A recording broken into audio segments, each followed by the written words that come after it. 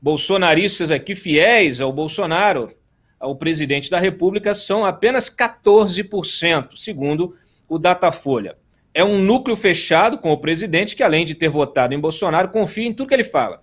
Aprova seu governo, não demonstra tanto medo da pandemia, recusa vacina acima da média e é contrário às medidas de isolamento social e fechamento do comércio.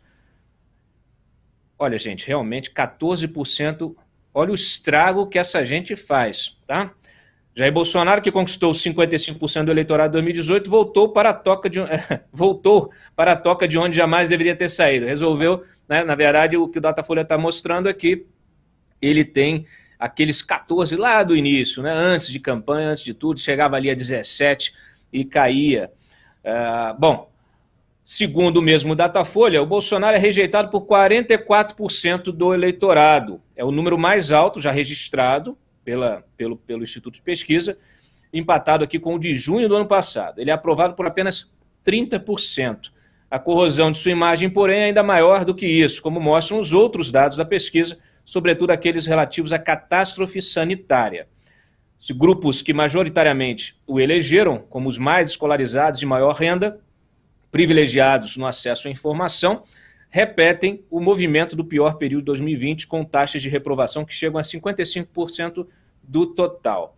E claro, o culpado pelo colapso é o Bolsonaro, que tentou aí jogar 280 mil cadáveres da pandemia no colo dos governadores, mas fracassou 43% dos brasileiros entrevistados pelo Datafolha acusaram o presidente de ser o principal culpado pela calamidade na saúde. Só 17 culparam os governadores e 9% os prefeitos. Os autores da pesquisa resumiram o resultado da seguinte maneira: com o recrudescimento da pandemia em praticamente todo o território nacional, colapso no sistema de saúde, aumento do número de mortes, a curva de rejeição ao presidente mantém tendência de alta e agrega mais quatro pontos aos oito que já tinha crescido em janeiro, depois do fim do benefício e da crise do oxigênio em Manaus. É um aumento consolidado de 12 pontos percentuais em três meses. Tá? Sua gestão da epidemia é considerada ruim ou péssima por 54% dos brasileiros, só 22 aprovam, 22% aprovam o seu trabalho. E parece que só agora os assessores direto, diretos do presidente Jair Bolsonaro descobriram que mortes né, não mortos não votam. E mortes também impactam negativamente na imagem de qualquer político, qualquer gestor. Aí está aqui ó, a Folha de São Paulo que fez a, a divulgação da pesquisa mais cedo, assessores diretos do presidente atribuem o pico de rejeição da gestão durante a pandemia apontado pelo Datafolha aos recordes diários de mortes por Covid nos últimos dias. Sério? Né? Precisou do Datafolha para descobrir isso? Bom, é, obviamente a culpa é do Bolsonaro. Peraí, gente, é, sempre resolvem me ligar durante o programa aqui. É, e é isso. E eu, antes de entrar no comentário do Mário, é, eu é, vou ressaltar aqui também, porque ontem à noite nós publicamos um levantamento da Modal Exata que faz referências às menções ao Bolsonaro no Twitter. Tá? Segundo esse levantamento, o Bolsonaro teve 73% das mensagens, das menções ao Bolsonaro foram negativas, tá? Isso ontem. E 27% apenas positivas. Uh, é isso. Já no, no, no, rastro dessa confusão de troca de, ministro, de ministro da Saúde, uh, da explosão de mortes, ontem recordes novos recordes, todos os dias são recordes. Nós estamos aguardando, estou aguardando já o próximo número de hoje do boletim Covid, mas é sempre um desastre. Bom, agora é, convido o Mário Sabino está conosco. Antes, Robson, solta a vinheta do Mário, por favor. Papo Antagonista. As notícias essenciais para entender os assuntos da semana no Brasil. Comentário de Mário Sabino. Bem-vindo, Mário. Boa noite. Obrigado. Boa, noite, Cláudio. Boa noite a todos. Obrigado. Essa vinheta é apoteótica, né? Acho que eu não, não mereço.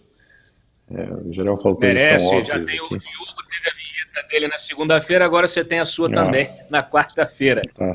Todo mundo tá merece certo, vinheta, que é o mínimo. Mário, Obrigado. diante desse cenário aqui do Datafolha, você fez uma, uma, uma, uma colocação mais cedo é, crítica também à própria pesquisa, né? Como é que você vê esses números e a própria pesquisa?